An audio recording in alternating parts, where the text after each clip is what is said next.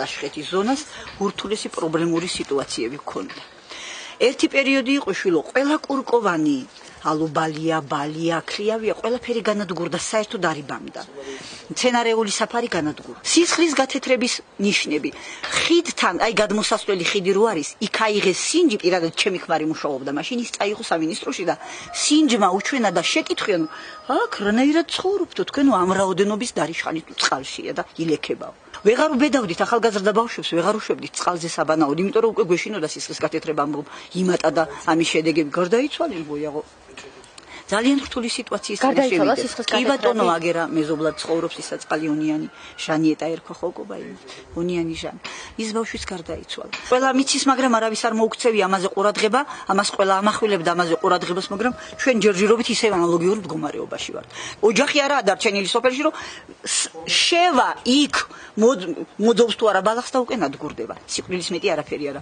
ასეთი მომაკვდინებელი შხამიშვილო ასე ღიად როგორ უნდა იყოს ასე ღია სივრცეში და ხოდა მთელ ხეობაში საწამლავი არის განფენი ჩვენ ადრე გქონდა სკა და მის მერე ხომ მართლა ძალიან გაუჭირდა და გავიდა წლები რამოდენიმე წელია და ეს ფუტკარმა ცოტა ეხლა დაიწყო აქ აღორძინება. და ასევე აი ჩვენთან მანამდე ეხლა ის არეთყობა ტყეებს, ხეებს, ეზოში ხეების ფოთლები ხმებოდა, ხეები ხმებოდა. და ხალხის ეხლა რამოდენიმე ადამიანი ეხლა ისეთი დაავადებით გარდაიცვალა, სიმსივნური დაავადებით, სიხში ცვლილებებით, რაღაცა ის ძალიან ბევრი შემთხვევა იყო, რომ ამბობდა ხალხი, რომ ეს იმისი ბრალია, ექიმები უსვამდნენ დიაგნოზს და ნუ ძალიან მაუნებელი იყო. მუშაობდნენ ესე იგი თითქმის ისინი არც ერთი არაც უცხალი დღეს. თანამშრომლები მიცემენ. ვინც მუშაობდნენ იქ მაგალითად აი დარიშხანში. და აგრეთვე იქ მოსიარულე საქონელი ხო უცებ იხოცება.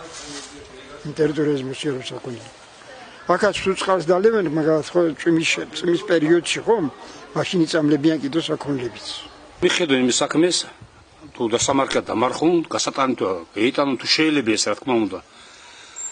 მაგრამ რა ვიცი რა ფერი იქნება ახლა ცხოვრება წინ მიდისო და ყოველთვის საშიშია უკვე ხო ვერც ისე მიდის კაცი ვერც ასე შინია კაც ადამიანს თივას თივავთ იქ რა ახლოს მივდივარ მჟავე წყალი ყოველ ყველაფერს მოქმედებს საწამლავია ის რომ იქოდათ საწამლავს აკეთებდნენ კიდე მინდურის ბღერელი და საწამლავენ მეთქი აფერყობი დარიშხანი საბადო რა თქმა უნდა საშიშია ყველასთვის ვითმეტეს საკუთრისთვის და ყველა ცოცხალი არსებისთვის მაგრამ უკვე ეს საკითხი გადაწყვეტილია გადაჭრილია 2011 წელს ჩატარდა ტენდერი გამოიყო თანხა ჰოლანდიის ხელისუფლებამ გამოყო თანხა წელს ორჯერ იყვნენ გამოსული ვინც მოიგო ტენდერი ის ხალხი თვითონ ჰოლანდიელები არიან რომელთაც აი თუ არ მუცდები 600000 ევროს ფარგლებში ეს ტენდერი გადაწყდა მათ შეისწავლეს ურავით და ჩვენი ყორულდაშიც და გადაწყდა წელს დაწყებულიყო ურავში და გაიცათ ეს პროექტი გრძელდება და დამთავრდება ყორულდაშიც და ლანზორაშიც. ანუ კონკრეტულად რა რა სიტუაციებს ეს პროექტი? ეგ არის ძალიან დიდი სამუშაოები, უნდა გაკეთდეს ძალიან დიდი და ძალიან ისეთი გამძლე სარკოფაგები და იმათ რამდენიმე ვარიანტი აქვს და მოკლედ რაც ჩვენ მაშინ აგვიხსნეს, ეს არის ძალიან შრომატივა და დიდ საქმე, რომელიც წლების განმავლობაში დაცული იქნება მოსახლეობაც, ნიადაგიც და ყველაფერი.